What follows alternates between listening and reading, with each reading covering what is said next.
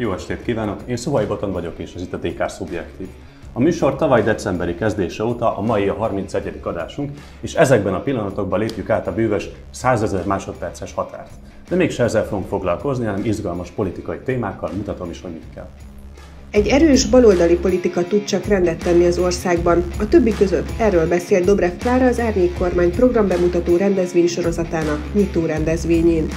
Ezt is az árnyék miniszterelnök Partizánnak adott interjúját is megvitatjuk.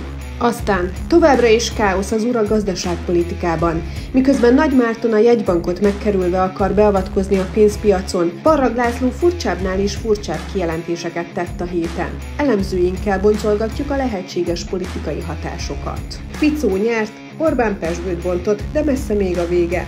Magyar szempontból veszük gorcső alá a szlovák választások eredményét és a kormányzati reakciókat.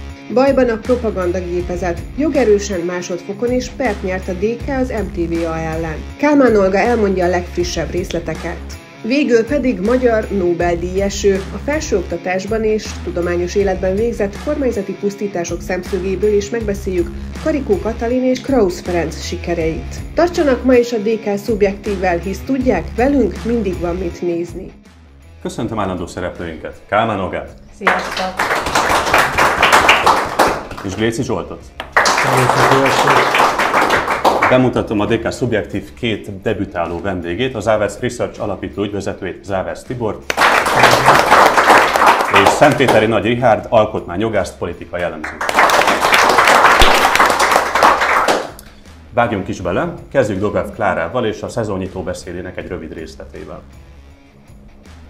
21. században nincs kiegyensúlyozott ország, nincsenek jólétben élő emberek erős, hatékony állam nélkül. Én nagyon szeretném azt a vitát lezárni. A liberálisok és a konzervatívok azt mondják, hogy jaj, legyen kicsi az állam, majd a piac mindent megold. Én ezzel nem értek egyet.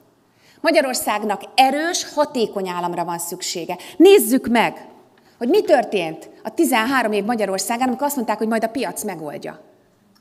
Ahol az állam vonul ki a legfontosabb területekről, legyen az a szociális szféra, egészségügy, oktatás. Nézzük meg, hogy mi történt Magyarországon. Mert ma Magyarországon egy gyenge, felelőtlenül és színvonaltalanul működő állam van. Egy gyenge és felelőtlen állam. Hogyan nézett ki elemzői szemben ez a beszéd? Először Rihárdot szeretném kérdezni. Van ez a tőkellenes, karakteres baloldali program, amit meghirdetett Dobrev Klára. Hogyan látod ezt? Hát, engedelmeddel kedvezően ítélem meg, hogy a, a DK karakteres politikát folytat, és ha szabad mondanom, az ideológiákkal is sokat foglalkozván, azt mondhatjuk, hogy helyes dolog, hogy a DK, hangsúlyozom, a DK is nem más pártra vonatkozóan, de a DK helyesen teszi, hogyha a szociáldemokrata alapokra épít. Más kérdés, hogy a szociáldemokrata fordulatot talán nem hangsúlyoznám, mert nem fordulatként érzékelem ezt, hanem a DK a kezdetek kezdetétől voltak éppen szociáldemokrata alapon áll. Olyannyira, hogy voltak éppen ez a fizessenek a tehetősek, vagy hogy nagyobb terhek rá, rá járuljanak a gazdagabbakra, ez már az első pillanatok kezdve jellemezte a DK elképzeléseit, olyannyira, hogy voltak éppen ez a progresszív adózást is jelenti, sőt mindenek előtt ezt jelenti, ahogy a kommentárokból ez kiderült, hogy a DK vezetői eh, szerették és helyesen tették kommentálni az elhangzottakat, és ebből ez derült ki, hogy voltak éppen ez ezt jelenti, és hogyha ezt jelenti, akkor ezzel voltak éppen minden demokratikus eh, szocialista, vagy szociális demokrata, vagy szociálliberális, vagy liberális szocialista egyetérthet, minden baloldali. Még a jobboldaliak közül is bizonyos sokig néhányan. Én magam most nem helyezném el ismert módon a, a magamat a baljabb skálán, de a baljabb skálának van értelme. Más kérdés, hogy egy demokráciában, egy liberális demokráciában, egy alkotmányos demokráciában mit jelent a baljabb skála, és mit jelent egy ilyen helyzetben, amiben mi élünk, vagy mi nekünk most élnünk adatot. A DK egyébként is, és aztán végre átadom persze a szót, a DK egyébként is sokat foglalkozik méltán azzal a kérdéssel, hogy hogyan fog kormányozni, ha majd kormányozni fog. Kevesebbet hallunk arról, hogy hogyan fog odajutni, és ez két különböző kérdés. A DK úgy tesz, méltán, mint hogy a demokráciában lennénk, és megkínálja egy programmal, méghozzá már-már a részletekben menő, már-már nüanszokig kidolgozott ez nem jellemző a magyar politikai bizonyokra.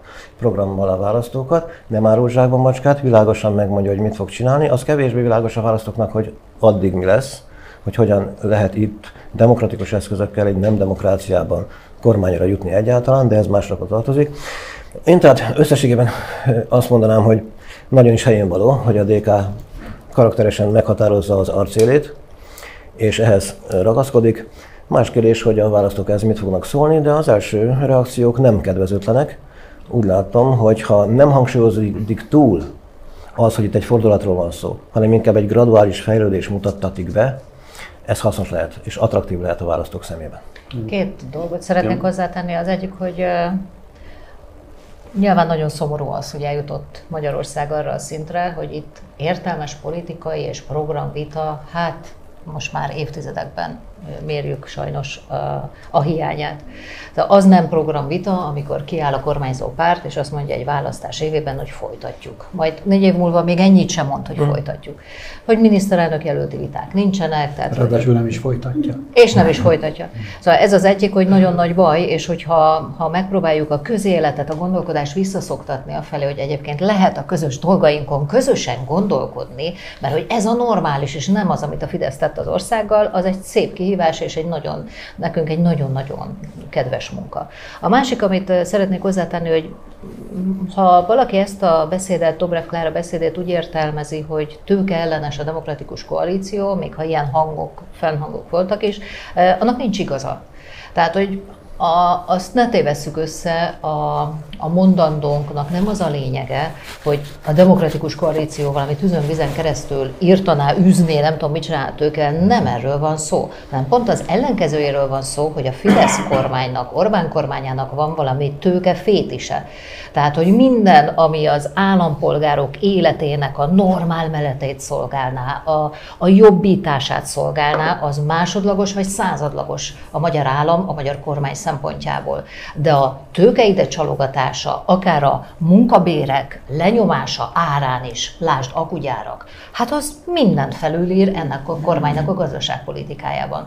Tehát mi azt mondjuk, hogy ilyen nincs, de nem azt mondjuk, hogy a tőke, mint olyan, az egy országból kiüzendő, erről, erről meg, megint szó nincs, csak ezt akartam mindenképpen tisztázni. Tibor, az meg lenne egy konkrét Igen? kérdésem. Dobrev Klára a szolgáltató állam csődjéről beszélt. Ti folyamatosan méritek a közvéleményt, érzékelik az emberek ezt a mindennapokban?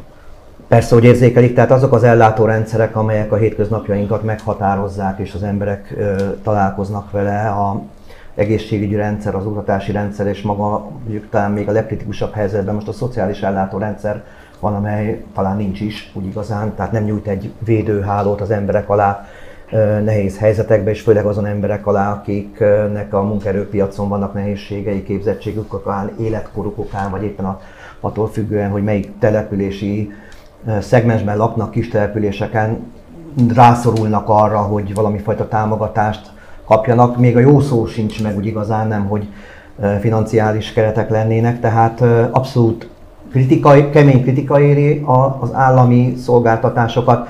Hát napjaink talán legfrissebb története az a magyar államvasutak körül zajló purparlé, ami hát tényleg vérlázító, hogy erről kell beszélnünk, hogy és ezt a szégyent kell megér, megérnünk, hogy a, az osztrákok azt mondják, hogy akkor valahogy ne közösködjünk. Tehát ez, ez tragikus, de nap mint nap lehet ezeket előhozni, és még három dolgot mondanék, mert nekem nagyon feltűnt és fontosnak tartom az, hogy Dobrev Klár előtt volt három szó, az európai, a magyar és a szociál demokrácia, vagy szociál, igen.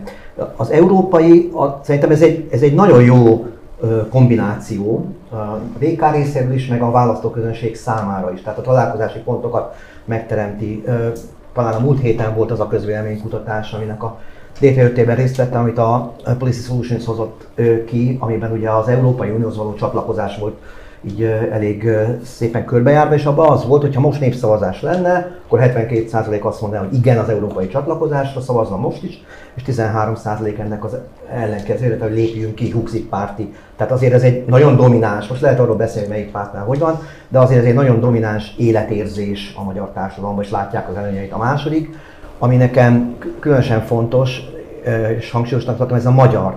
Tehát, hogy, nem, hogy, hogy végre egy ellenzéki párt szájára veszi ezt a szót, és, azt, és nem engedi át a terepet a Fidesznek, hogy, hogy, hogy ők sajátítsák ki, és ennek ugye most már a rendszerváltás óta nagyon kemény időszakon vagyunk túl, ahol a jobboldali pártok megpróbálják ezt a fogalmat magukénak tudni, de hát elnézést kérek, én egy pápai születési gyerekként, és nem feltétlenül a kormánypárthoz közel álló gondolkodással, hát hadd érezhessem már magaménak ezt a szót. Tehát ez szerintem nagyon fontos üzenet. A harmadik a szociáldemokrácia, az pedig ott is egy adatot hoznék, hogy amikor az embereket arra kérjük, hogy sorolják be magukat különböző ilyen ideológiai csoportokba, akkor azt látjuk körülbelül, hogy olyan 20-25 százaléknyian vannak, akik vagy szociáldemokratának, vagy szocialistának, tehát ezt a baloldali gondolkodási típust aggatják magukra, mint címkét. Tehát ez egy olyan szűk két millió ember, most a DK-nak van egy talán nagyjából egy milliós támogatói közege, ez a 12% a teljes népességen belül. Tehát tulajdonképpen ebből az látszik, hogy még van egy ilyen potenciális tartalék, cirka egy millió ember. Volt egy újdonság a beszédben, ez pedig a szakértői csoportok felállítása. Komolyan műhely munkáról beszél Dobrev Klára, és maga a programalkotást is ezerfős szakértői gárdával vitték végbe. Zsolt, szerinted mennyire van létjogosultsága ennek a mai Magyarországon?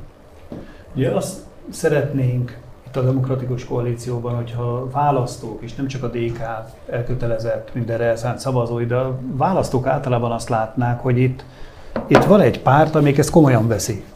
Tehát nem merül el ebben a napi, személyes, piszlicsári, ki mit mondott, kinek a, kinek a mi, mi és hogyan, akkor a személyi ügyek, hanem van egy csoport, ezt úgy hívják, hogy demokratikus koalíció, amik valóban a kormányzásra készül. És ahogy Richard mondta, ez valóban ez a baloldali karakter, ez a DK eleje óta ott van. Hát a Gyurcsány Ferenc már akkor arról beszélt, hogy több felelősség fent, több lehetőség lent. Ez, a, ez nagyjából ugyanez a baloldali karakter. És hát azt kell, hogy lássák a választók, hogy itt ez a, hogy itt szakértők vesznek részt, műhelyek jönnek létre. Tegnap nagy sikerrel Dobrev Klára bemutatta Pest a nyugdíjprogramot Gyénémet Erzsébettel, de egyébként aki például a Facebookon keresgél, az megtalálja azt, hogy bárki csatlakozhat. Tehát kifejezetten keresjük azokat a civileket, egyszerű embereket, akiknek van egy ötlete, egy javaslata, és szeretnének csatlakozni ehhez a csapathoz, amelyik a kormányprogramot összeteszi akkor ez egy ilyen nyitott lehetőség, és ebben bárki részt vehet. Szerintem ez rendkívül fontos. Az egy más kérdés valóban, hogy az emberek türelmetlenek, és azt mondják, hogy jó, jó, de meddig kell még várni, de szerintem az is nagyon fontos, hogy azt lehessen látni, hogy bármikor bármi történik, akár az utca lép elő, akár valamilyen választási helyzet áll elő, vagy a nemzetközi helyzet úgy fordul, hogy elfogy, igen, igen, elfogy, elfogy a jégtábla, amin a Fidesz üldögél, akkor azért kell lennie egy csapatnak, amelyik tudja, hogy mit kell csinálni, és ez a demokratikus koalíció. Még, még egy kérdés erejéig maradjunk ennél a témánál, és az elemzőikhez fordulnék újra. Um, volt itt egy visszatérő elem ebbe a beszédben, ami korábban már a DK zászlajára lett tűzve, és most újra előkerült, ez pedig az Európai Egyesült Államok eszméje. Hogyan látjátok, hogy ennek lesz bármiféle hatása, vagy bármilyen ismét létjogosultság, ezt kérdezem. Van jelenleg létjogosultsága ennek a mondatnak? Különösen a több mint 70%-os előbb idézett igen, adat alapján. Igen, ami a, ezt a 70%-ot illeti, azt kell mondanom, hogy ha nem 100%-os, akkor én már nem vagyok nyugodt. Magyarország esetében. Más országok esetében más lenne a helyzet. Magyarország esetében azonban egyértelmű, hogy száz százalékig mi a magyar érdek, és mi a nulla százalékos magyar érdek. Nem is, maga a kérdés is értelmetlen, hogy az unión belül vagy kívül. Egyértelmű válasz van erre a nem, nem, nem normális kérdésre. Ráadásul a magyar történelem ezer éves perspektívájából nézve is egyértelmű a válasz. Úgyhogy ha a közönségünk egyre kevésbé támogatja az uniós tagságot, de még támogatja, az engem nem nyugtat meg, sőt kifejezetten aggasztónak érzékelem, és azt látom, hogy érik a gyümölcs, ugye az EU ellenes hangulatkeltés azért lassan-lassan beérik. Természetesen a népünk bölcsességét mutatja, hogy nem téveszthető meg, de bizony most már azért nem 80%-on, nem 90%-on van az EU támogatottsága, és az aggasztó, úgyhogy itt lenne mit tenni. A DK a maga részéről megteszi, amit egy párt ebben a kérdésben egy nem demokráciában megtehet. Az Európai Egyesült Államok hangsúlyozása már, azért, már csak azért is helyén való volt egykoron, mert ez sikert eredményezett a 2019-es EP választásokon. Ennek a szlogennek és Dobrev Klára személyének és a jó listának volt köszönhető az, hogy a DK jó eredményt ért el az EP választásokon. Most ennek a az eredménynek legalább a megismétlésére kell törekedni, de Azt kell mondanunk, hogy ha lenne időnk, már pedig ilyesmi újabban ebben a, ebben a században, ugye a 21. században nincs, de ha lenne időnk azért érdemes lenne egyszer megbeszélni azt, hogy mit is jelent voltak éppen az Európai Egyesült Államok, mi a tartalma ennek. Mivel hogy nincs időnk, csak röviden azt mondanám, hogy nem az a tartalma, ami a közvéleményben elterjedt, és nem az a tartalma, amit a Fidesz hangoztat. És a nemzetállamok megkerülésével kapcsolatban is sok mindent lehetne mondani, de minden esetre ez a szlogen, szlogennek, mivel hogy röviden kell fogalmazni, ez egy, egyelőre megfelel, aztán egy későbbi kifejtés természetesen majd tartalmat, még, még tartalmat is ad meg. Némi veszély valóban van, teljesen igazad van ebben, mert pontosan ebben a felmérés interpretációjában vezettük azt elő, hogy amíg a kormánypárt támogatóinak talán egy évvel ezelőtt az egy ötöde volt uh, párti, most már az egy negyede, most az a prognózis, hogy ne így legyen, de hogy egy harmada, tehát hogy beérik ez a, ez a nagyon uh, savanyú uh, gyümölcs vagy romlott gyümölcs, és én azt gondolom, hogy mindegy milyen formában uh, teszi egy párt az európai kifejezést a, a szlogenné, tehát lehet Európa Egyesült Államok formájában is akár, ennél bonyolultabban is lehet, de azt még nehezebben érték meg a választók. Lényeg az, hogy legyen szó Európáról, mert ez megkerülhetetlen, és amikor az emberek a Európával való azonosságukat kifejezik, akkor persze részben, nagy részt az anyagi előnyöket veszik számba, de azért ott szerepel a fontos odatartozásunk okaként az is, hogy ez egy demokrácia biztonságot jelent az ország számára, és egy szabad munkaerő és egyáltalán bármilyen típusú áramlást a népek és a, az országok között, és ez egy fontos dolog. Tehát ezeket teszik oda, mint pozitívumot. Dobrev Klárával és a DK-val folytatjuk, ugyanis az árnyék miniszterelnök nem sokkal ezután a beszéd után elment a Partizánba is, ahol hosszú interjút adott. Nézzünk meg egyből egy részletet, és akkor utána beszélünk róla. Mi nem pécézzük ki a gazdagokat, mi nem pécézzük ki a milliárdosokat, mi nem pécézzük ki a multinacionális vállalatokat. Majd beszéljünk arról, hogy egyébként milyen jó hatása van a versenynek, a tőkének, vagy a szabadpiacnak. Csak egy fél mondattal még azt arra hagyja reagáljak, mert abban igazad van, hogy 22 után egy valamiben lehet váltást látni. Hogy a 22-es választási kudarc után mi eldöntöttük, hogy, és azt a következtetést vontuk le a választási kudarcból, hogy soha többé nem engedjük meg, hogy bárki eltérítse minket arról az útról, hogy Orbánt egy baloldali szociáldemokrata politikával kell legyőzni. Hogy még egyszer az a tévejgés, hogy majd jobbról előzünk, innen, onnan, amonnan, az meg ne történjen ebben az országban, mert nem egyszerűen hiszek abban, hogy Orbánt leváltani szociáldemokrata politikával és kampánya lehet, mert ez még csak egy kis eszköz lesz, lenne, hanem nagyon hiszek abban, hogy az Orbáni rémálom után egy erős baloldali politika fog tudni ebben az országban rendet hozni, és fogja tudni az országot visszavezetni arra az útra, amire szükség van. Tehát abból a szempontból jogos az észrevételet, hogy a 22-es választás után mi sokkal markánsabban, ha úgy tetszik, néha konfrontatívabban fogalmazunk, és nagyon remélem, hogy ezzel még több embert tudunk meggyőzni, és össze velünk együtt ezzel közös útra vinni. Reagáljunk rögtön itt az elhangzottakra. Tényleg egyértelmű elemzőként is, hogy a Fidesz csak balról lehet előzni? Hát én említettem ezt a viszonylag magas arányt, akik azért nem, nem a Fidesz támogatói. Nyilván a Fidesz politikájában számos olyan elem van, amit lehet baloldaliként láttatni, de az igazi baloldali gondolkodásmódnak, az igazi baloldali tetteknek, vagy politizálásnak a, a nyomait sem lehet találni, mert hogy akkor az arról is szólna, hogy a leszakadó társadalmi rétegek valamilyen biztonságot kapjanak. Tehát ezt a Fidesz nem teremti meg, sőt, élesíti ugye a társadalmi különbségeket, tehát egyre nagyobb az az arány, akik szegénynek, bármilyen mutató alapján szegénynek tekinthetők. Van egy kutatásunk, ami alapján azt mondom, hogy milyen súlyos a helyzet, hogy a, a, az embereknek nagyjából az egynegyede, pontosan 27%-a mondta azt, hogy ha őt váratlanul egy 100 ezer forintos váratlan kiadás érné, akkor ő meg tudná teremteni, nem, nem okozna neki gondot.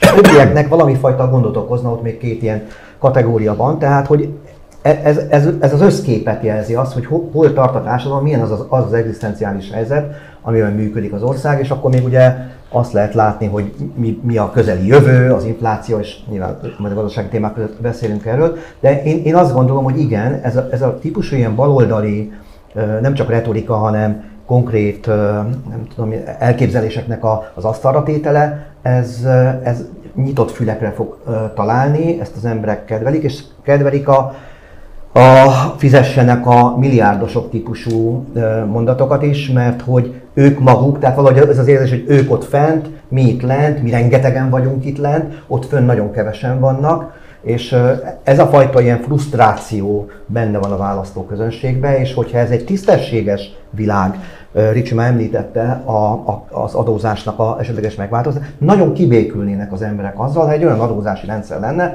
ahol a gazdagok többet fizetnének. Minden ilyen tesztelés, ahol tudatásokban ezt a, ezt a rendszert modellezzük, ez, ez egy nagy támogatást élvez. Nem tudom, miért nem ilyen a, a rendszer. Tudom, miért nem ilyen, csak uh, jó lenne, ha olyan lenne. Vagy ezt úgy is megfogalmazhatjuk, hogy ahogy mondtad, hogy már elégedettebbek lennének, a társadalom elégedettebb lenne, hogy a nagyon-nagyon hiper-szuper gazdagok, milliárdosok többet fizetnek, de inkább azt mondjuk, hogy mi van most? akik igazán a legtöbb adót fizetik arányaiban a jövedelmük, a jövedelmi viszonyukhoz képest, azok pont a nagyon alacsony jövedelmi viszonyba tartozók köréből kerülnek ki.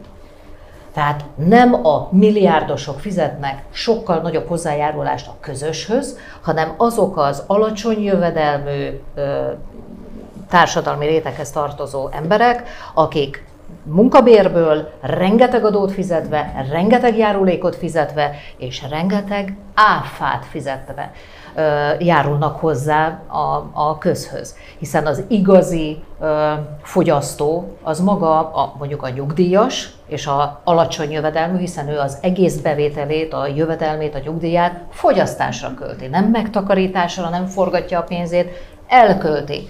Ő fizeti minden egyes kenyér árában és minden termékben a 27%-os áfát minden hónapban, minden jövedelméből. Ők a legnagyobb adófizetők ma Magyarországon ebben a társadalomban. Na ez az, amin változtatni kell.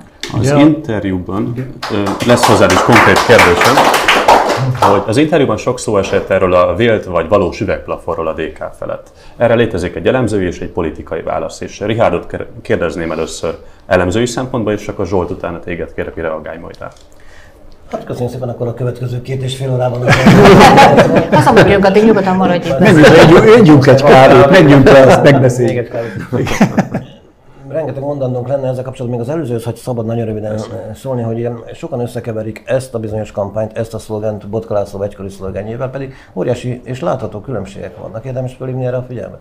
Ugye Botka László annak idején éppen a szelítségével lett népszerű, és amikor elkezdte a nem sikeres és rövid és saját pártja által megbuktatott miniszterelnök jelölti kampányát, akkor éppenséggel ezzel szembefordulva hirtelen durva lett, berúgta az ajtót és ilyeneket mondott. És ez megijesztett bizonyos polgártársainknak egy egész sor során. Itt, itt nem erről van szó. A mostani bejelentés arra vonatkozik, hogy a terheket igazságosabban, idézőjelbe tenném az igazságosságot jobbról nézve, ez különösen hangzik, de ebből sincs most időnk megbeszélni, de mindenesetre igazságosabban elosztani a terheket, és hogy nyilvánvalóan a fölött, föl, fönt lévőknek nagyobb terheket, arányaiban is, úgy értem százalékosan is az adózás mindenek előtt, a 27 százalékos áfa pedig hát sajnálatos módon mindenkire vonatkozik, már mint Magyarországon mindenkire, mert hiszen ez a legnagyobb Igen, csak az arányok az itt is nem mindegy, hogy valaki mhm. mindenért erre költ. Egyértelműen, és talán még arra érdemes felhívni a figyelmet nagyon röviden, ha szabad, hogy inkább hogyha baloldali programmal lehet győzni, inkább valami ilyesmi programmal nem, de ami egy működő államot mutat föl, de egy szemben egy nem működő állammal. Magyarországon is azt nyugodtan ki lehet mondani, a Fidesz híve is alig, hanem elismerhetik, hogy nem működik az állam, nem működnek az alrendszerek, semmi sem működik. Ott éppen kormányzás nem folyik, lefelé menő spirálban vagyunk. Nem kormányzás folyik, hanem egyfajta propaganda tevékenység, egy indoktrináció, és hogyha felmerülnek problémák a kormányzás során, akkor nem megoldódnak a problémák, a kormány nem megoldást keres, ráadásul általában le van maradva, hetekkel, sok esetben hónapokkal le van maradva, mire intézkedés jön, az is tűzoltó jelleggel. Ugye, tehát nem előretekintő kormányzás szemben egy jövendő, ugye beígért szociáldemokrata kormányzás víziójával, hanem felelősöket keres, ugye, hogy miért jelentkeztek ezek a bizonyos problémák, anélkül, hogy megoldaná. És akkor nagyon röviden beszélni a plafonról, valóban nem könnyű röviden szólni, annyit mondhatnánk talán, hogy ez egy létező probléma, de nem mérődött, mérődött meg igazán még. Tehát egy, egyről azt látjuk, hogy a DK a nulláról zöldmezős beruházásként indult, a semmiből kezdte meg a tevékenységét, nem más pártok összeállásából, hanem a semmiből, ex nihilio kezdte meg a tevékenységét, a politikai tevékenységet, és az világos, ezt a, az DK ellenfele is elismerték, hogy sikertörténettel van dolgunk, hiszen ma már nem mondom hány százaléka, de minden esetre nem egy magasabb százaléka van, az összes többi ellenzéki pártot összeadva sem érjük ennek a felét sem természetesen a támogatásra. Tehát azt lehet mondani, hogy, hogy egy, egy, egy kisebb-nagyobb mozgások természetesen előfordulhatnak, de hogyha összekötünk bizonyos pontokat, akkor itt látunk egy, egy, egy fejlődést a népszerűségben. Hogy ez hova vezet, hogy eljut-e egy plafonig, vagy a plafon esetleg még nyomható följebb, és itt a, ez nagy kérdés, én nem mennék bele tapintadból, de azért azt mondanám, hogy kellenek természetesen szervezeti, személyi kérdések eldöntései is ehhez a kérdéshez, de minden esetre az ideológia, a politikai ideológia, az eszmei alap, hogy tetszik, a felfogás rend alapja az adva van. Zsolt? Hogyan reagálnál erre szerinted? Én ugye ezt a fonalat gombolítanám tovább, egyrészt azzal, hogy ugye a Fidesz azzal érvelt itt folyamatosan, hogy erős állam, erős kormány, és majd egy csomó mindent ők elintéznek. Te ne csinálj semmit, kedves magyar állampolgár, majd az erős kormány intézkedik. Nos, ez itt az utóbbi egy évben nagyon látványosan, másfél évben összeomlott. Ha azt nézzük, hogy mi történik az oktatással, az tehát az nem egy kormányzati szolgáltatás, hogy testnevelő tanár tartja a fizikát. Az nem egy kormányzati szolgáltatás, hogy minden héten bezárnak valahol egy kórházi osztályt, hogy hétvégén nem lehet szülni, mert nincs szülész, tehát akkor a mama meg a baba az ott várjon, nem több valahogy tartsa bent. És a konténertanterem? A, a konténertanterem szintén ugyanez, amikor, ahogy Tibor említette, a MÁV, tehát az, hogy nem közlekedik a vasút, tehát az, hogy bezárta a postát, hogy uh, itt Komáromi Zoli barátunkra nézek, a két közöttünk, hogy uh, több mint 400 házi orvos hiányzik a rendszerből. 700. Milyen jó, hogy az Oli itt 700 házi orvos hiányzik a rendszerből. Hát ez azt jelenti, hogy a magyar állam összedől. Tehát nem szolgáltat. Ami pedig a plafont illeti, amikor valóban a semmiből létrehoztuk ezt a pár, egy pár tucatnyian, akkor mi, rajtunk nevetett mindenki, és azt mondták, hogy egy százalékos pár, soha nem lesz belőle egy, vagy öt. Akkor meg lett az öt, akkor azt mondták, soha nem lesz belőle tíz. Amikor azt mondták, hogy meg lett a tíz, á, 15, az kizárt az is meg lett 19-ben. Most már azért voltak olyan kutatások, amik ezt a 20%-ot is megajánlották a DK-nak, és ha van egy millió szavazónk, az egy igen erős bázis arra, hogy megpróbáljuk ezt a elemzők és nem tudom én kik által erőltetett üvegplafont újra át bökni a fejünkkel.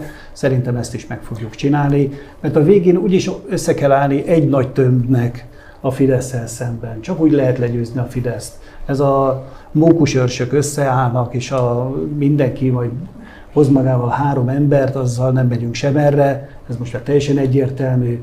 2002-ben és 2006-ban akkor veszített a Fidesz, amikor a nagy fidesz szemben volt egy erős tömb, és nyilván kellett hozzá még kisebb kiegészítő párt de ha csak ha győzni akarunk, akkor csak így fogunk tudni Ha győzni. már felhoztad a kutatásokat, akkor ezekből kirajzolódik bármilyen tendencia? Itt most Tibort kérdezem, kijött most egy friss mediánmérés is, ami egy kicsit más mutat. Én, a, én, az, én ugye a, a, az interjúban, amit uh, Gulyás Marci csinált a Dobrev Klárával, abban is emlegették az én nagyjából 20% körüli uh, biztos pártválasztós adatomat, és én erre alapozom a, a, az állításaimat. Én az, az látom, úgy egyébként még, még egy dolgot hozzátéve, hogy a karakteres ellenzéki politizálás hiány, tehát hogyha ezt az ellenzék nem teszi és a pártjai nem teszik, akkor annak két következménye lehet. Az egyik az az, az ellenzék ellenes pártnak, a, a kétfalkú kutyapártnak az erősödése, amit nagyon nehéz összevetni most a DK-val bármilyen szempontból, hiszen nem tudjuk, hogy a világ különböző dolgairól mit gondol és az ország eseményeiről, tehát ilyen tudásunk nincsen, de van benne egy ilyen protest szavazási potenciál, és annak az erősödését hozhatja el, hogyha pártok nem komoly ügyekkel foglalkoznak, mondjuk ellenzéki pártok, hanem csak egymással. Ilyen szempontból tényleg unikum az, hogy egy párt az embereket közvetlenül érintő témákat hoz fel. A másik dolog, amit akartam említeni, ez még a, ez már a rendszernek az, a, az ellenzéke tulajdonképpen a mi hazánknak az erősödése, aminek mindenféle következménye lehetnek, de ez a párt olyan 10% körül van, és egyetlen egy küszöbb vagy plafon átlépési uh, tanácsot, ha adhatok, akkor az, az az, hogy helybe kell menni. Tehát vannak kutatások, amik azt jelzik, hogy az emberek nem akarnak miniszterek lenni, nem fogják, nincsenek ötleteik arra vonatkozóan, hogy hogy legyenek a nagy ügyek megoldva, de egy, egy valamire viszont vállalkoznak, hogy helyben az ő kerületükben, az ő városukban, és hagyd menjünk még egyet odébb, tehát a falvakban is, hogy valahogy beleszólhassanak abba, ne csak a választás napján, az önkormányzati választások napján, hanem úgy, úgy egyébként is az ügyek intézésébe vonják őket be. Ha valaki ezt a nyitottságot pártként mutatja, az egy ilyen üvegplafon átlépési esély. Jó, folytassuk most egy másik nagyobb témával, ez pedig a gazdaság lesz, ugyanis újabb lesújtó hírek láttak napvilágot, és konkrétan fogom mondani nektek, 950 milliárddal kevesebb lehet az állami áfa bevétel. Tehát recesszióba fordul itt a gazdaság. Mennyire érződik mindez a politikai közhangulaton? bárkinek címezem. Azért ezek, ezek lassú folyamatok. Tehát ö, olyan sokszor szembesülök én is azzal, úton, útfélen, magánbeszélgetésekben, lakossági fórumon, hogy na de hát, ha ennyire tönkretette ezt az országot a Fidesz, akkor még hogy van egyáltalán ekkora népszerűsége, még hogy csökkent is a táborra, de hát hogy nem látják az emberek, hogy nem fordulnak el. Én azt hiszem, hogy ez Meg nem... neked nincs is olyan ismerősöm, aki már rájuk szavazna, és ja, mégis van, biztos igen. ismeritek ezt a... Igen, igen. igen. igen. Szóval azért ez egy csalókakép, ezek a dolgok nem így működnek, de hát ezt akár jár, akár Tibor sokkal jobban tudja nálam, hiszen ez a szakma szakmájuk, ez a, ez a kutatási területek, területük napi szinten, hogy Tegnap még azt mondtam, hogy X pártra szavazok, és tetszik, amit csinálnak. Fú, hát azért ez van ebben az országban, na jó, hát akkor mostantól kezdve más. Tehát ezek nem egyik napról a másikra beérő folyamatok, akár nem csak hónapok alatt, hanem akár évek alatt. Hát egy párkapcsolati kiábrándulás. Különösen, amikor közeledünk egy, egy választási évhez, akkor fognak ezek a hangok felerősödni, hogy nekem nem ezt ígérték, én nem erre számítottam, én ezekbe mélységesen csalódtam, hiszen már nincs itthon gyerekem, mindenki külföldön van, már nincs itthon rokonom, már nem találok egy szakembert, már fél év a várakozás az állami egészségügyben, mit tanul a gyerekem az iskolába, tehát hogy ezek hosszú-hosszú folyamatok és választás előtti időszakban azt abszolút beérnek, úgyhogy nem, nem kell türelmetlenkedni, hogy, hogy ki hogyan látja és miért nem szeretett még ki a Fideszből, vagy miért nem mondta meg a bizalmát. Én szerintem egyre többen lesznek ezek az emberek. Közben meg a jegybank és a kormány mizériájában egy újabb fejezetet láthattunk a héten, amikor hát Nagy Márton fogalmazott meg igen érdekes kijelentéseket Matolcsékkal kapcsolatban. Richard, mit gondolsz erről az egészről? Megint mondanék valamit az előző témával kapcsolatban, és nagyon gyorsan erre, kihasználom, hogy nálam van a szó, hogy valóban, ha a demokráciában lennénk, akkor itt versengő ajánlatok lennének, és akkor akár még szimpátiák is lennének, preferenciás sorrendek, szeretik a Fideszt mások, mások meg nem, és itt, itt nem erről van szó, nem szeretik az emberek a Fideszt. Ez egy másik rendszer. Itt a választások nem arra valók, hogy a választásokon a nép, a démosz meghatározza a jövendő kormányzás irányát, mert azt demokráciákra találták ki. Itt arra valók a választások, hogy a nép fölvonuljon a, nép, a, a kormány mögé, és legitimálja a kormány intézkedéseit. Erre van kitalálva, és ezért választáson voltak éppen a rendszer nem is dönthető meg, kivéve, hogyha a választók jelentős része, egyértelmű többsége egyértelműen beáll egy erős politikai tömb mögé. Márpedig ilyen kínálatot nem kínált még az ellenzék a rendszer berendezkedése óta.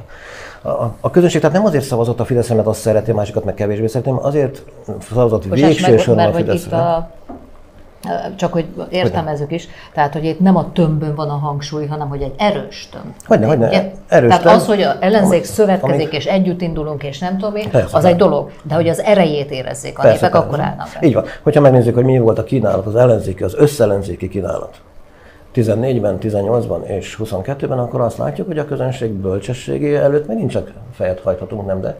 Hiszen a kínálkozó lehetőségek közül a megszokás, ugye, a félelem, a nem demokráciában élésnek a mindenféle habituális megnyilvánulása miatt, és ezer más dologból, nem szeretetből, hanem, hogy úgy mondjam, hát a rendszerhez való igazodásból úgy szavazott, ahogy szavazott. Ez a következő választásokon is veszélyként jelentkezik, de majd meglátjuk, hogy akkor mi lesz. Ami pedig a kormány és a jegybank ellentétét mutatja. Amikor ez először fölmerült, akkor azt mondhattuk nem, de hogy ilyen azért ritka, és hogy ezt nem fogja megúszni a jegybank a jegybank elnöke. És mégis azt láttuk, hogy megúszta hónapokig, sőt lassan most már másfél-két éve megy az, ez a húzamona, az egymásra mutogatás. És alig, ha nem, végül igazat adhatunk magunknak, mikor azt mondtuk, hogy nem úszhatja meg, mert valóban most előjött, ugye, most már ugye a Parag Lászlót rászabadították a jegybanki bírálatra, el, hogy előfutára az ilyen rászabadítások. Ugye konkrétan azt mondta, hogy nem értenek a munkájukhoz. Igen, ezt mondta, és még durvábbakat is mondott. És mondta ezt Parag. Igen, igen, igen, igen, igen, igen. És a monetáris tanács van lévő feleségének a férje, ugye? Igen. Egykor Valóban így van, de még ennél is többet számít a rendszerhez való hűség természetesen az adott szereplők esetében, gondolom ez is így lenne, de a személyes kérdéseket most félretéve csak azt mondhatjuk nem de, hogy a dolog végül is eldől, és különösnek érezhetjük utólag nem de azokat a hangokat, azokat a véleményeket, amelyek arról beszéltek, hogy itt a jegybank győzelmével végződhetnék ez a csata, nem, ez természetesen ki van zárva, a rendszer természetrajzából adódóan. Egyfajta kompromisszum lehetett volna, de a hang nem olyan lett, már, hogy a kompromisszum is ugyan, ugyancsak ki van zárva, tehát itt ezt a csatát legyőzik. Már csak arra szeretném hozzátenni, hogy súlyos gazdaságpolitikai, monetáris politikai hibákat nem csak a jegybank követett el, hanem a kormány is irdatlan felelősséggel tartozik azért, hogy a helyzetére, ami, amihez ide jutott, am, amiben vagyunk végtére is.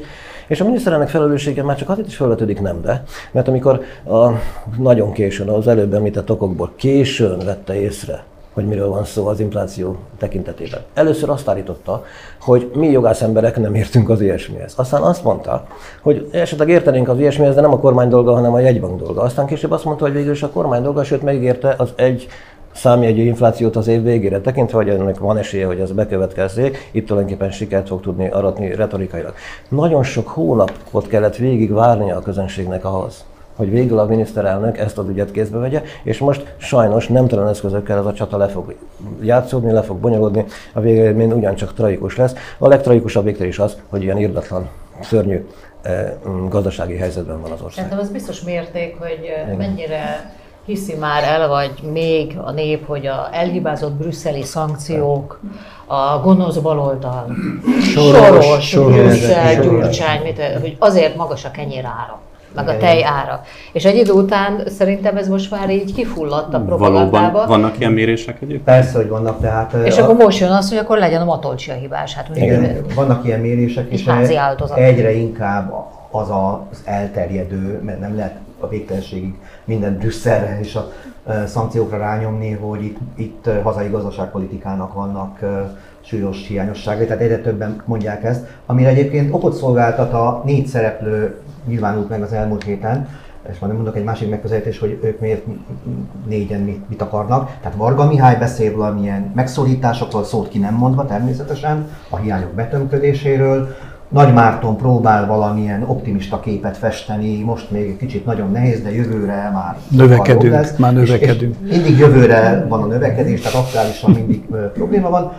Ugye a harmadik a Matolcsi György, aki kerekasztal beszélgetésen MNB nyilatkozatban nagyjából visszautasítja azt a vált, amit ö, ö, ellene megfogalmaznak az infláció kezelés okán. És ugye a negyedik, hát nyilvánvalóan Parrag László, aki mind négyük közül a legképzettebb és legjobb gazdaságpolitikus, és én azt gondolom, és akkor ezt akarom mondani, hogy, hogy, hogy nem, ar, nem, arról van-e, nem arról van-e szó, hogy amikor évvégén nagy csinadarattával bejelentik, hogy na egy számjegyű lett a, az infláció, akkor a tapsrendhez kiálljon oda. Tehát mindenki oda akar állni a tapsrendhez. Szerintem a miniszterelnök fog odaállni, tehát amikor vagy 9, nem tudom hány százalékkal a, a havi infláció, tehát nem az éves, ugye félreértés ne essék, mert az 18 százalék lesz már maga az MNB kormány, nagyjából mindenki ezt mondja, de ez a, ez a úgynevezett havi infláció, ez ennyi lesz, és akkor ki az, aki leküzdte az ellent, ki az, aki olyan intézkedéseket hát ez hozott. lehet. Hát ez, ez ő lehet, de ott próbálnak a, a többiek is egy kicsit a közelébe férkőzni, hát ha két hely lesz majd a sajtótájékoztató. Uh-huh. Szinte két mikrofon. érzem azt, hogy felment egy kicsit a vérnyomásunk. Azt javaslom, hogy szusszanjunk egyet, és nézzük meg, hogy mi vár a folytatásban. Nem várt végeredmény a szlovák választásokon. Ficó nyert, Orbán pesgőt bontott, de messze még a vége. Magyar szempontból veszük gorcső alá a helyzetet. Bajban a fideszes propaganda. Jogerősen másodfokon is pert nyert a DK az MTVA ellen. Kálmán Olga pillanatokon belül elmondja a legfrissebb részleteket. Végül pedig foglalkozunk a két friss magyar Nobel-díjassal. Az ő sikerüket a felsőoktatásban és tudományos életben végzett kormányzati pusztítások szemszögéből is megbeszéljük. Tartsanak továbbra is a DK szubjektívvel, hisz tudják, velünk ma is van mit nézni. A következő percekben a szlovák választások eredményével fogunk foglalkozni. Nézzük meg egy összefoglalót, és akkor folytatjuk innen. Robert Fico pártja Smer nyerte a hétvégi szlovák választásokat, jócskán rácáfolva az előzetes elemzői várakozásokra, de még az exit pólokra is. Ficóék meglepetés győzelmének hírére a Fideszes holdudvar igen komoly ovációba tört ki, de még az is lehet, hogy korai Orbán Viktori köröme. Ficóik ugyanis jó eséllyel csak akkor lesznek képesek kormányt alakítani, ha megállapodnak a harmadik helyen végzett szociáldemokrata párttal, amely királycsinálóként, akár még a második helyen végzett liberális, progresszív Szlovákiával is szövetségre léphet. Egy biztos, Orbán egy fontos Putyin barát, de magyar ellenes vezetőt kapna, ha ismét Robert Ficó lenne Szlovákia miniszterelnöke. A magyar kormányfő pedig újfent bizonyíthatna, hogy a felvidéki magyarok vagy Moszkva érdekei a fontosabbak az együttműködés keresésekor. Jó, muszáj először Tiborhoz fordulnom. Mi lehet az oka annak, hogy ekkorát tévedtek az exit pollok?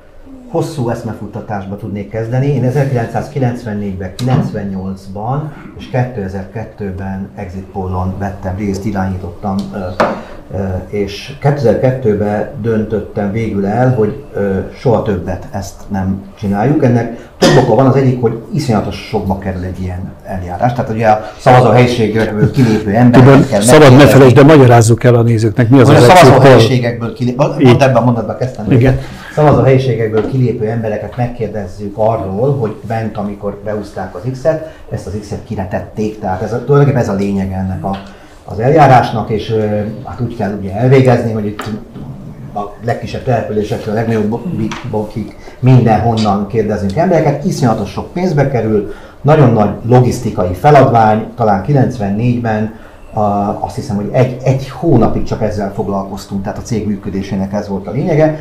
Nem éri meg azért a fél óráért, egy óráért, manapság nem tudom, talán még ennyi sincs, amik elkezdenek csordogálni az eredmények, mert az igazságos, vagy az igazság maga tényadat, az sokkal izgalmasabb. Tehát, hogy e, e, ez az egyik fele. A másik az egy módszertani dolog, és akkor ez a kérdésre az igazi válasz, hogy amikor kijönnek az emberek és válaszolnak, akkor mi nem tudunk tőlük mást megkérdezni, ezt az egy dolgot.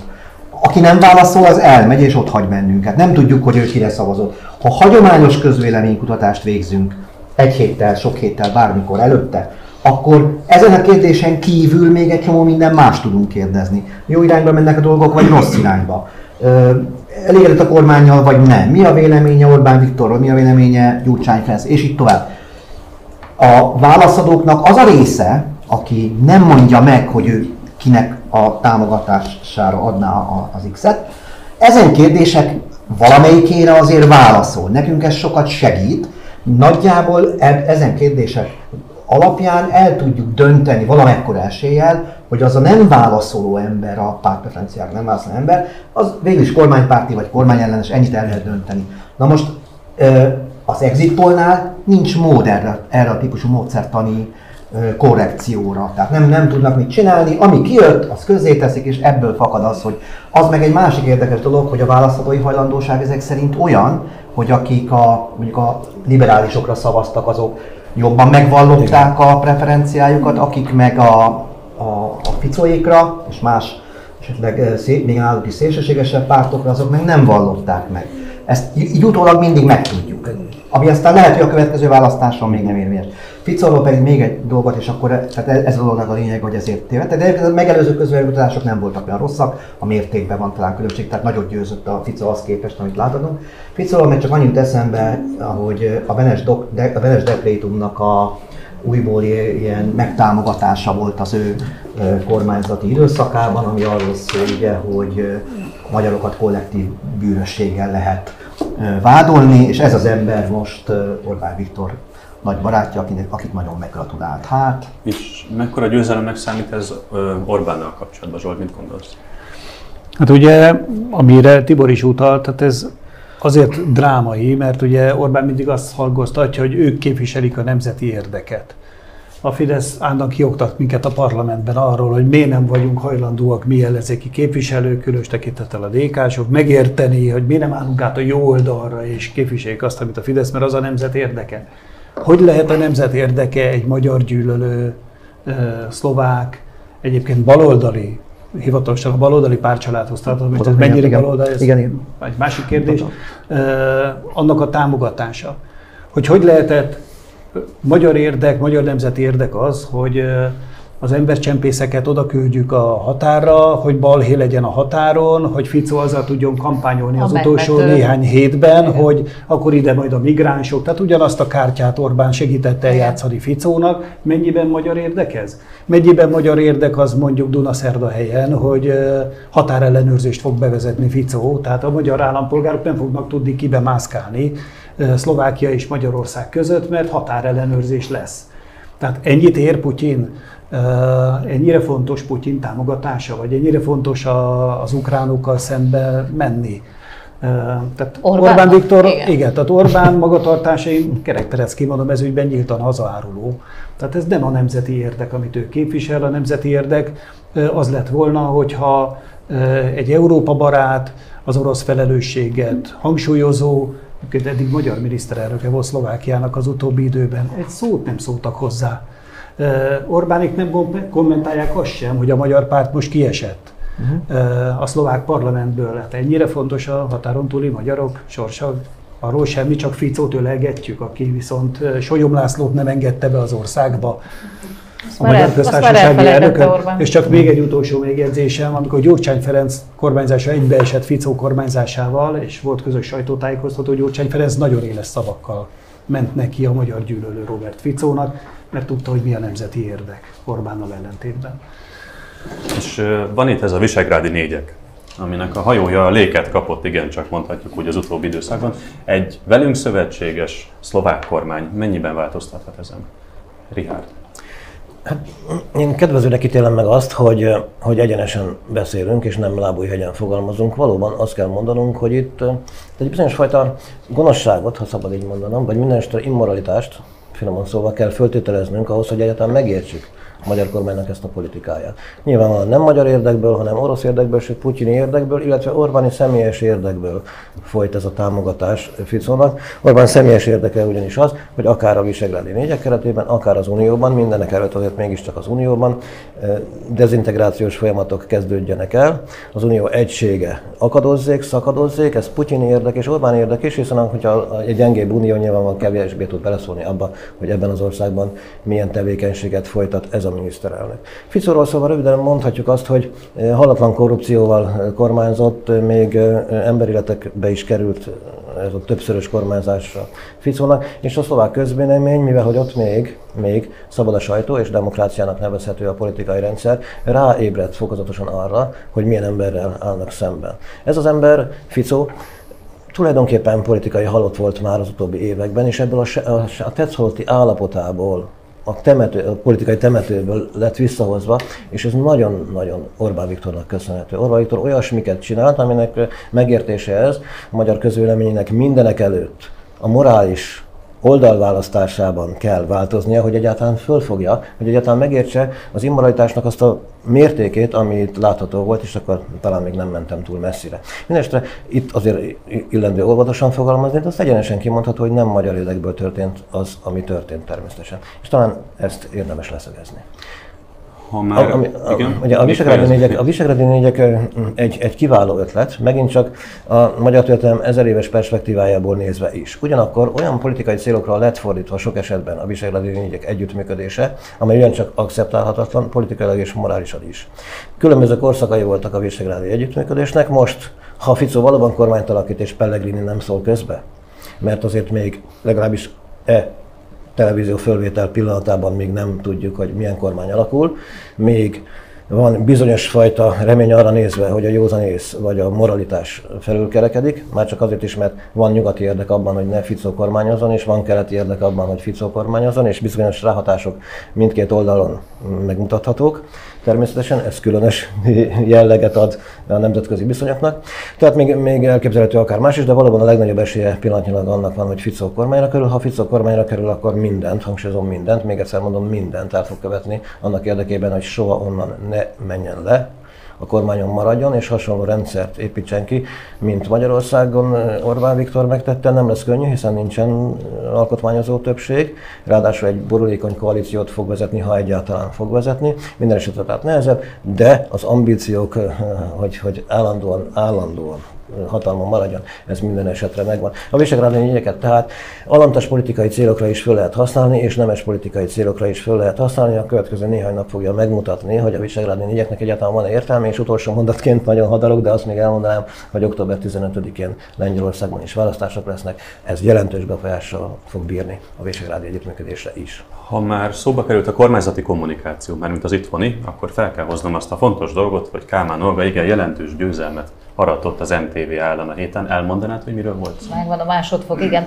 Beszéltünk már erről itt az évelején, méghozzá abban az összefüggésben, hogy, hogy többen, nem csak itt a DK szubjektívben, hanem több helyen is elmondtuk mi DK-s politikusok, hogy elég ebből a, a nem is tudom, udvariaskodó szemlesütésből, hogy azt írta a tankerület, azt mondta a tankerület, ilyen meg olyan, nem tudom, megalázó levelet írt a pedagógusoknak, bemondta az M1, rákente a, a mit tudom én, a híradó.hu, vagy bármelyik más propaganda termékhez tartozó lába a kormánynak, hogy tehát nevesítsük. És az év elején többször kimondtuk, nevesítsük. Mi az, hogy azt mondta a tankerület? Ki az? Mi az, hogy azt mondta a M1? Ki mondta ott? És mennyiért? Mégis mennyiért és hogyan végzik közpénzből ezt a propaganda tevékenységet, hogy Rihárd is mondta, hogy itt nem kormányzás folyik Magyarországon, hanem propaganda, és tényleg mindennapi szinten. És akkor közérdekű adatigényléssel fordultam a MTV A, B, C, D, X, Y, Z összes szervez. Itt a műsorkészítők és csúcsvezetők vannak, és az ő adataikat kértük ki az intézménytől. Természetesen ezt akkor itt elmondtuk, hogy visszautasították, hogy nem mondhatják meg, mennyit keresnek, mert annyira jó szakemberek, hogy akkor a kereskedelmi médiumok elvinnék őket azonnal, mert annyira jók, és akkor mentünk bíróságra, meg volt az első fok, most meg volt a másodfok, és bizony ki kell adni, amit kértünk, közérdekű adatigénylésben, mennyit keresnek, és milyen munka körülmények között, tehát a munkaszerződésüknek a, a részleteit. Ez bizony a mi pénzünk, méghozzá iszonyatos mennyiségű közpénzről beszélünk, a, ami a köztévébe vagy állami tévébe ömlik be a kormány jóvoltából, ránk meg a propaganda, akkor lássuk, hogy mégis mennyiért csinálják azok az emberek, akik műsorkészítők és csúcsvezetők. Úgyhogy másodfok megvan, hiszem 15 napjuk van, hogy kiadják ezeket az adatokat. Ha elég hosszú ideig tart egy ilyen projekt, és azért egy fél évig el lehet tolni egy plakátokon, rádiókban, tévékben, és a nem levecsülendő a, a vidéki megyei napilapokban, akkor benyúlik a, ez a propaganda, ennek a hatása, ennek az elfogadottsága még az ellenzéki szavazók irányába is. Tehát abba, abba, nyilván nem a kemény magba, de azért, hogy a széléhez eljut, és elkezd rajta gondolkodni, hogy vajon nincs-e igazad. Tehát, hogyha valamit folyamatosan hallunk, és ezek egymásra épülnek, ezt, ezt hát bemondta a tévé. Igen, igen. Meg, meg, meg, meg a módszertan, hogy, hogy kell, mit, mit, hogyan kell a másikra építeni, tehát egy, ez kutatások elég jól lehet látni, hogy mik a kereszt hallgatottság, olvasottság és nézettség. Tehát, hogy ez, ennek az ellenszere nagyon kevés. Szerintem, a, ha már médiában gondolkodunk, akkor nyilvánvaló, hogy valahogy az internetet felhasználva lehet valamennyire ezt ellensúlyozni, és a másik, amit már egy másik kontextusban említettem, hogyha közvetlen találkozások vannak a választópolgárokkal, ami egy nagyon strapás dolog, és uh, nyilvánvaló, hogy le kell menni az egyszámjegyű utakról, a kétszámjegyűekre, meg a háromszámjegyűekre is, és az néha nem egyszerű, mert döcög az autó, meg kátyus az út, vonattal meg nem is érdemes elindulni ilyen településekre, de hogy ez például egy ellenszer lehet, de hát ez ugye sokba kerül, de hát hogyha ez a, ez a konstelláció, akkor, vagy média konstelláció, akkor ezzel valahogy, hogy ezzel ellen így lehet védekezni. És elérhetünk egy olyan pontot, amikor ez a kormányzati propaganda már nem tudja leplezni a az újabb botrányokat. Most mondok egy példát, Sárdöl György határidő naplójában szerepel egy Karmelita nevű bejegyzés a találkozók között. Meg Varga Judit többször is. Igen. Meddig lehet ezt elhallgatni? Tényleg örökké ki tudja őket mozdatni a propaganda? Nem. Nem, nem, nem, csak hát a, az ereje iszonyú nagy. Tehát az a napi szintű dömping, amit mindig elmondok, hogy amiről beszélünk, az nem az van, hogy hú, hát most ilyen még nem is történt az elmúlt 5 évben, 10 évben, 20 évben, hogy ezt csinálta a kormány, ilyen Ne arra, hogy egy fél pillanatra, csak az, azt az egy fontos részletet kiadtam, hogy Völner Pálnak a ügyvédje hívta fel a bíró figyelmét erre. Hát például, hát mindig Azért- vannak azért olyan pikáns helyzetek, amikor egyszer csak valakinek az az érdeke, vagy azt a tanácsot kapja, hogy ne tessék egyedül elvinni a balhét, jó? Hát jó. Azért ez lehet, hogy években mérendő majd egy ítélet után. Bocsánat, ez az információt, amit említettél, nem gyakran hallgatom a Kossuth rádiót, de most vissza fogom hallgatni, hogy bemondták-e tegnap. Tegnap előtt, vagy megnézem, akkor az M1 elérhető végül is Na, minden iradó. Keresőbe be nyugodtan. Igen, és akkor, Kíváncsi de hogy en- ez az az erő, például ez az, hogy nem jut el egy nagyon sok ilyen információ a választópolgár tekintélyes részéhez, mert itt van egy ilyen kompatibilitás, tehát hogy a Fidesz szavazó táborának egy jó része ezeket, a, ezeket az orgánumokat követi, és ott egy picit más a magyar valóság, mint amit mi megtapasztalunk.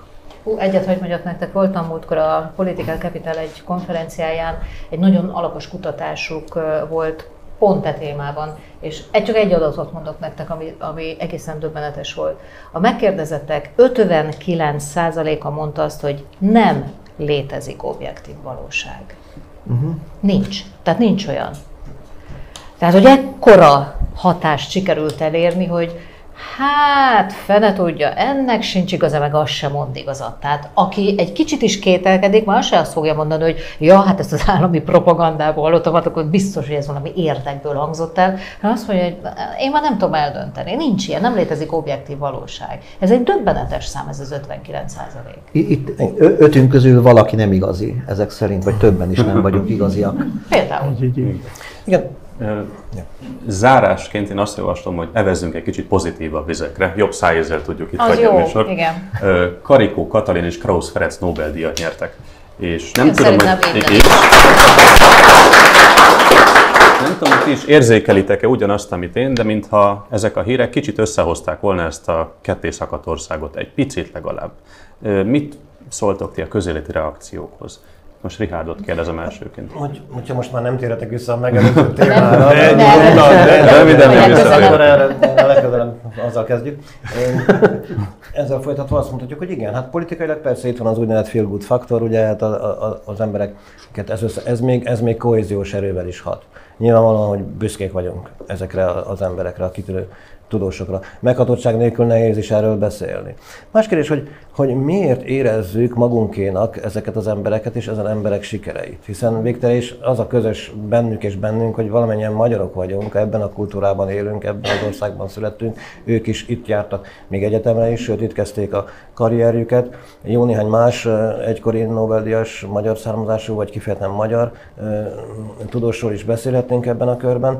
És mégis olyan különös dolog ez, hogy, hogy együvé tartozunk valamiképpen, és mi magunk is büszkeséggel tekintünk rájuk, és a mi mellünk is valamiképpen dagad a keblünk, hogy úgy mondjam, és ez, ez megmagyarázandó, itt most megint csak nem tudjuk megmagyarázni, de van értelme annak, hogy mi egy közösség, egy politikai közösség, egy kulturális nyelvi, stb. közösség vagyunk, és ha valaki azt mondja nekünk, hogy mit nekem te Zoldon Kárpátoknak, arra rögtön tudjuk mondani, hogy fenyvesekkel vadregényes tája, és hogy ez minket összeköt valamiképpen, és mi, ez a siker, valamiképpen a mi sikerünk is volt, semmi közünk hozzá voltak éppen, de ez érdekes megfigyelés, és alig, hanem ez egy üdvözlendő dolog, hogy ebben a szóban, hogy haza, benne foglaltatik minden, és ezért dobog a szívünk. És van ezeknek a sikereknek üzenetértéke Orbánik irányába? Hogy ők azok, akik támadják az oktatást, támadják a tudományt és a kutatást, mindeközben pedig úgy élnek mások sikerével, mint hogyha a sajátjuk lenne. Hát nekem az jutott eszembe erről a, a két fantasztikus napról, hogy olyan volt, mintha valami tanár kihívta őket felelni. Karikó, Krausz, ugye, mint ha valaki lapozza a napot. Már vártam, hogy még a Krasznahorkai esetleg Az majd csütörtökön csatlakozik. Eh, Szóval tényleg, tényleg fantasztikus dolog, és már csak azért is fantasztikus, mert mind a két magyar tudós olyan történetekben van, olyan kutatásokban van benne, amely az emberek 10 millióinak az életét fogja befolyásolni. Tehát itt a rákkutatástól a, a következő vakcinák legyártásáig rengeteg minden kerül elő, és hát ez létfontosságú. Ugyanakkor azt is láttam ugye ilyen közösségi média kommentekben, hogy azért bent a fanyalgás is, hogy az Amerikában van, az meg nem is Ferenc, hanem Franc, mert németeknél van, tehát ezért voltak ezek a, ezek a dermesztő hangok, meg most milyen oltás, meg ilyen oltás szkeptikusok is előkerültek, hogy már ezért Nobel-díjat. Szóval szerintem ez az a pillanat, amikor érdemes ezeket így hátra szorítani Abszolút. a fejünkben, meg a lelkünkben, meg a tudatunkban, és csak simán legyünk büszkék. Én is nagyon büszke vagyok erre, mert volt itt egy ilyen szemantikai vita, vagy ma találkoztam vele, hogy örülnünk kell, vagy büszkéknek kell. Én most leszögezem, én büszke vagyok erre a, a két Nobel-díjra, és nekem az az üzenete, és talán a kormány felé is, és próbálom pozitívan fogalmazni, hogy volt, volt valamikor egy olyan közoktatási rendszer, amin, amelyben ezek az emberek, tehát ők ketten is, és mi magunk is, én nagyjából, hogy korosztályilag oda tartozom. Nagyon sok minden rosszat el lehet mondani arról az időszakról, de azért a 60-as, 70-es, 80-as évek közoktatási rendszerében olyan szaktudást nyújtottak még akár kisújszálláson is, ahol Karikó Katalin született, hogy anna, az megalapozta egy későbbi elő, előre menetelnek, egy szakmai kompetencia megszerzésének az útját, tehát hogy szaktanárok tanítottak szakmai tárgyakat, és így tovább, tehát hogy azt hiszem ez, ez egy... Viszont olyankor nyerik ezt a két Nobel-díjat, amikor a magyar egyetemistákat kizárják az Erasmusból, csak hogy mondjam a másik végét a számegyenesnek. És nem szaktanárok tanítják a különböző tantárgyakat, nagyon-nagyon sok helyen. Ami egyébként abnormális, most gondoljon bele mindenki, hogy ha, ha az iskola nem fontos, akkor mondjuk az ennek a kormánynak, akkor mondjuk azt, hogy folytassák a sort, akkor mással legyen fontos. Szerintem akkor egy autó vezetni tanuló, tehát a jogosítványát szerző diák mellé nyugodtan ültessünk be egy, nem tudom, egy varrónőt, mert most éppen autóoktató nincs, vagy nem ér rá. És hogyha mindenki cserél szabatos, akkor tegyük meg. Hogyha éppen nincsen hasisebész, hát orvos, orvos, nem? Tanár, tanár, orvos, orvos, akkor írjuk egy, nem, nem tudom, egy fülorgégész. Tehát ő is ki tudja venni, nem? Azt vakble. Nem csereszabatosak. És nem arról van szó, hogy az a tesi tanár egyébként nem fantasztikusan tudását összeszedve próbál teljesíteni. Nem ez a szakmája. Neki a Mengyelejev az egy távolugró biztos. De, de most nem akarok senkit se bántani, egész egyszerűen ezek nem normális dolgok. Úgy nem normális dolog legfőképpen, hogyha egy kormányzat abba beletörődik, hogy hát amíg van egy pedagógus, vagy valakivel megy helyettesíteni. Nem, mert a mi gyerekeinket tanítják meg, alapozzák meg azt, hogy tudjon boldogulni az életben, és adja Isten, hogy egyszer évtizedek múltán minél több Nobel-díjas legyen. Ahhoz kell az alap. Ez egy tökéletes zárszó. Ez volt a DK Subjektív 31. adása, köszönjük, hogy velünk tartottak. Jövő héten találkozunk ugyanis ugyanekkor, tartsanak velünk akkor. További szép estét kívánok, viszontlátásra!